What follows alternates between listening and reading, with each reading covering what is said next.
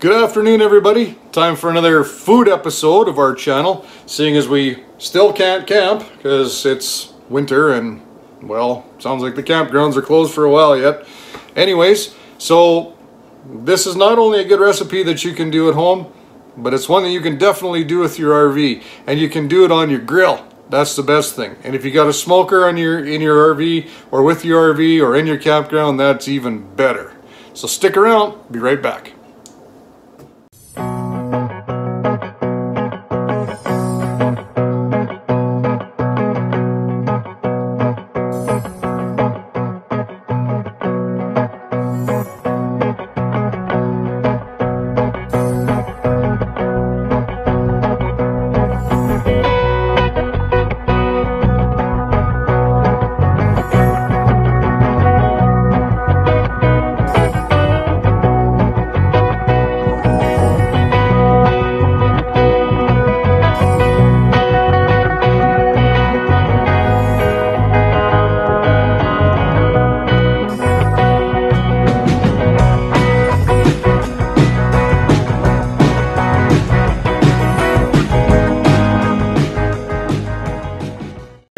Today is meatloaf day. So this isn't your this isn't your father's meatloaf.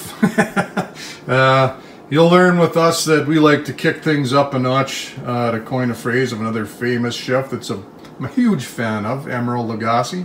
Anyways um, some simple things you're gonna need to do this is some ketchup uh, some Lea and Perrins Worcestershire sauce.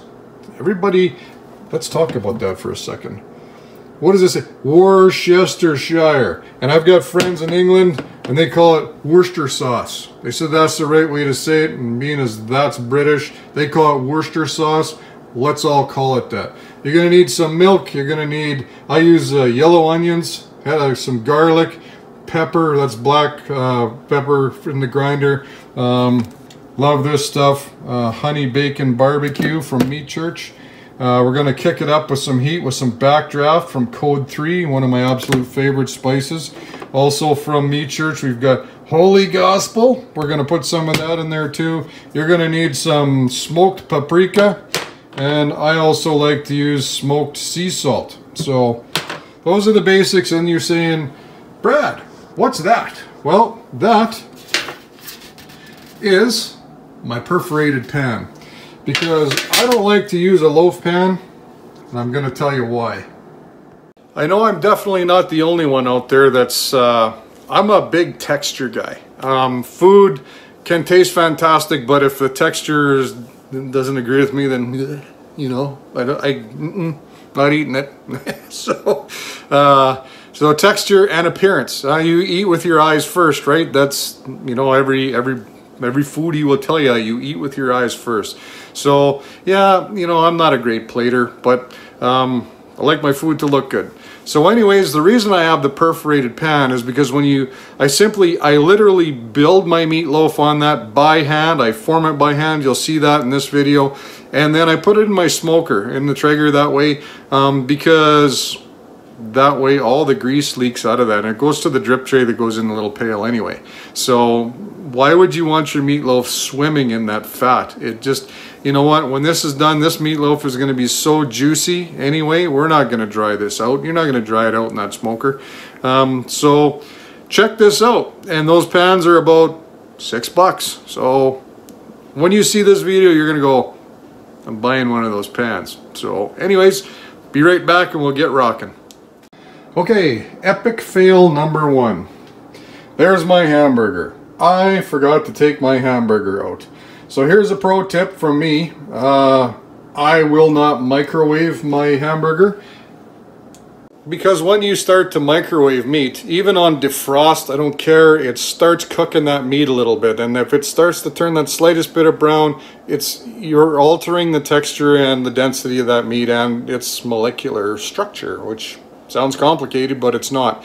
And you need that raw meat with all that fat in there, thawed out nice so that all of those wonderful spices can actually infuse through all your meat. And that's critical. That's, hey, that's what, you know what? You want your flavor everywhere in the meat. You don't want to just flavor the outside of the meat and, you know, you might as well just pour a bottle of ketchup on a steak.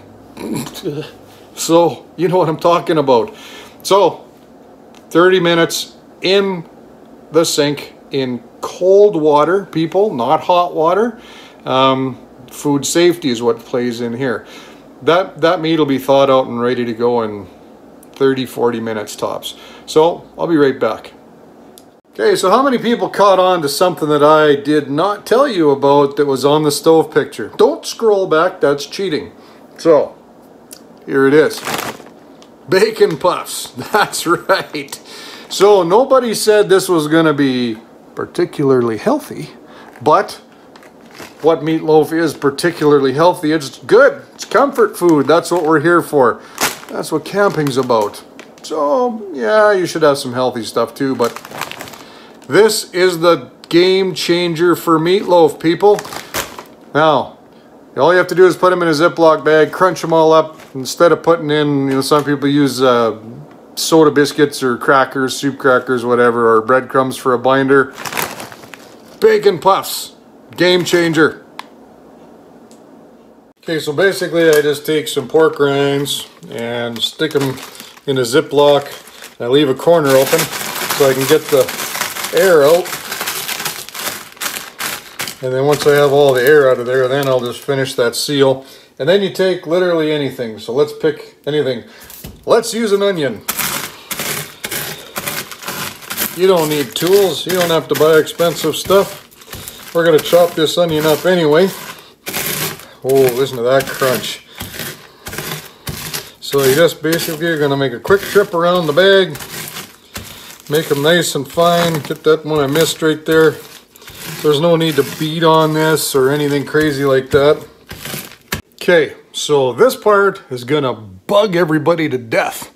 And the reason it's gonna bug everybody to death is this is this is how I cook. And for a guy with some OCD issues, um, like my pantry you'll see perfectly lined up, all English forward, not quite alphabeticalized. I'm not that far gone yet, but when I make meatloaf, there's no measuring. There's, I just know. I, I know I apologize for that. Been cooking for a long time, so I just, I just hammer it with stuff, and I just know how much it's going to take to taste really good. So follow along if you need to make measurements. I do have an actual recipe um, that does give you the quantities, but when you're watching me do this, none of that's happening except for the eggs and the milk and that might be it. Everything else is just hammering it to it. So here we go and I apologize in advance. So I've got my bowl, nice big bowl, nice big bowl. Give yourself lots of room to work. It's full with uh, the three pounds of fresh hamburger. And basically what I'm going to do is, so I'm going to start with, I'm just going to hit it with some Worcester sauce. Remember that Worcester? Okay, I'm literally just going to hit it. Okay, so that's probably a couple of good tablespoons. And then I'm going to hit it with some the Holy Gospel. And literally, I'm just going to sprinkle, sprinkle, sprinkle, sprinkle. You got a lot of meat here, okay? So that, I know that, I know that my backdraft has some heat and I don't want to get too carried away. Um, so I'm going to give it probably what I would call the equivalent of two tablespoons of that. And and then the uh, meat church, the honey bacon barbecue. Boy, that's that's that's like the code three stuff. So I'm going to give that probably, oh, two good tablespoons as well. And I'm calling it that. Maybe it is, maybe it isn't. The reason is that adds some nice sweetness. And now I'm going to add what's probably a good, good tablespoon of smoked paprika. Okay. And then I'm going to give it about, oh, 10 good grinds of uh, the smoked sea salt. And the reason I'm not going to add a ton of that is these other spices do have salt in them, so I don't want to get too carried away. And now your fresh peppercorn, I'm going to give it lots of good, a good 10 twists of that times two. Love the black pepper. Okay, so now I'm going to mix this all up by hand, and then I'm going to add the chopped onion, the garlic, the uh, uh, egg and milk and then a and, and my Game changer. Remember. And we're gonna take it from there and form it out. So it's been a few minutes. I'm pretty much mixed up there, but my wife just texted me, Lisa. You guys have met my wife, Lisa.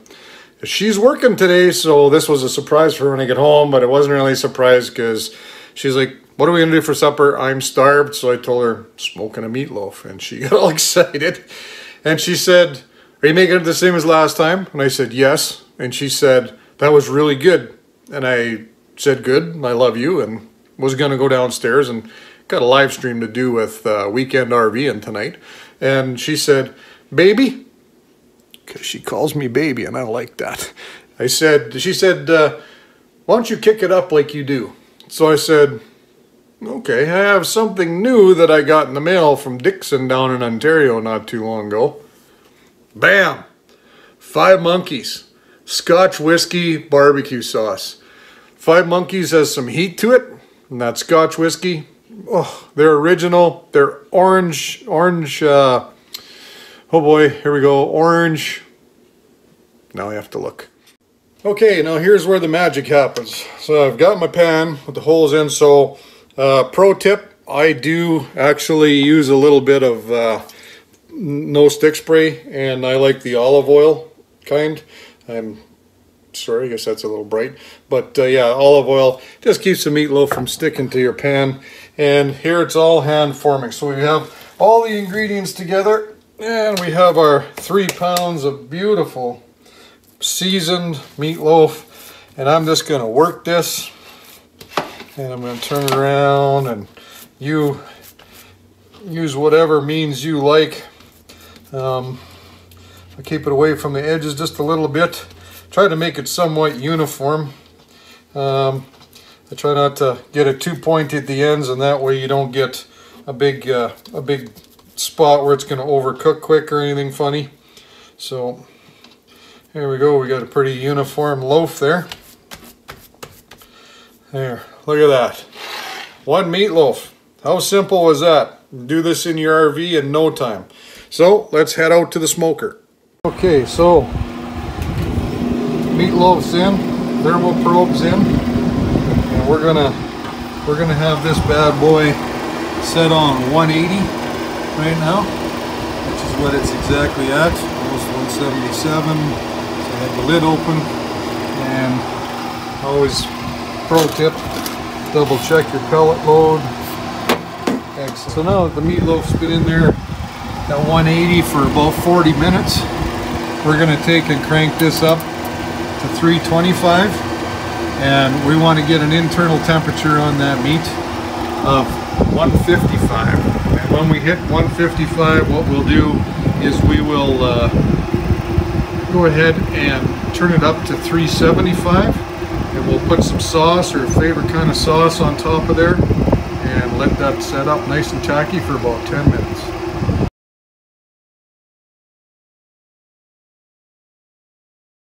All right, so now we're up to 155 internal.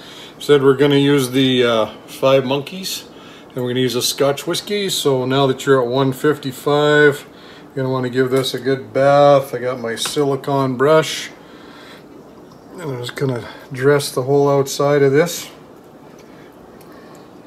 And you can see it's not swimming in its own grease. So the black around the edges that you see, that's just uh, that's just where the fat hits the hot metal.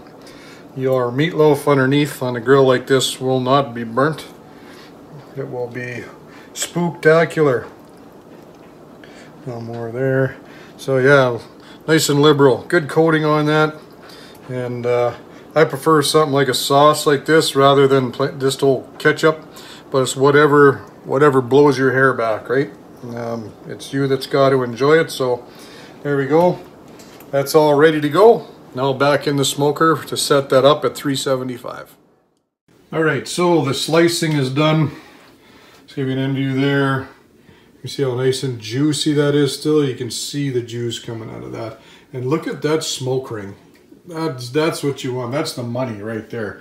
So anyways, like I said, not a not a huge plating guy, but like to have it look good. So we got our got our uh, meatloaf and we got some fresh carrots and fresh coleslaw. And that, ladies and gentlemen, is what's for dinner tonight. So there you have it. You have RV Meatloaf Madness. Guess who's home from work? Yeah, and you saw supper's ready, huh? Husband of the year right here. So, guys, make your wife some good food. Anyways, there's the meatloaf. You saw it plated, ready to go. We're gonna we're gonna hammer that now. So nothing you can't do in your RV. It took me 25 minutes to prepare that supper, and then it takes about hour and a half, two hours to cook because uh, you want to throw that first 45 minutes in just at 180 to smoke, remember. So anyways, the end of the video, I will post the recipe of the ingredients for all the people that hated it when I was going some of this and some of this and some of this. hey, when you know your own cooking, you don't need to measure anymore. But anyhow, this is us checking out, eating our supper. Have a great day and stay safe, everybody.